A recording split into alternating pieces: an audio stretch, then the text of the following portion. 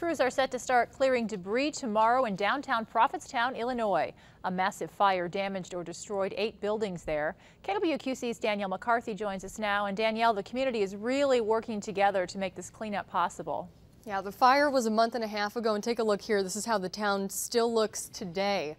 The cleanup is expected to cost the city about $160,000, and the cost of the rebuild is still unknown. Donations have been rolling in, though, from the community to make it all a reality.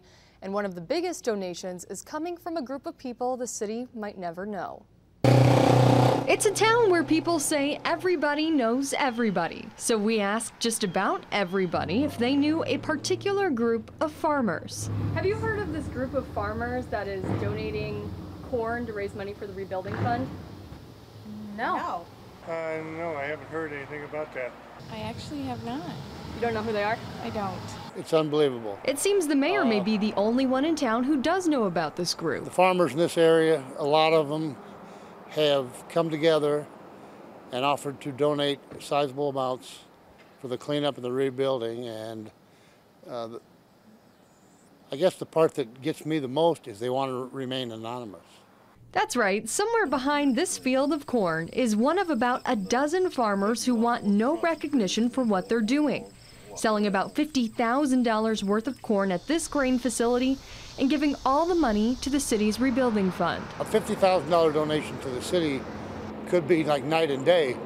Uh, that could get us out of the red for any cleanup expense. So, why make such a big donation? We were lucky enough to track down one of those anonymous farmers to explain. I talked to Mayor. I says, what happens if the people don't have enough insurance and the city takes it over, and who's got to pay the difference? He said, well, the city will have to borrow the money and do it. You know. So I said, well, let me see what we can do. So that's what that's what got it started. And while they may never know who these farmers are, the community has a few things they'd like to tell them. I think it's great. Yeah, it's amazing. Whoever is doing it is amazing. But, you know, I kind of wish they'd let us know who they are so we could thank them. In Prophetstown, Danielle McCarthy, KWQC TV6 News.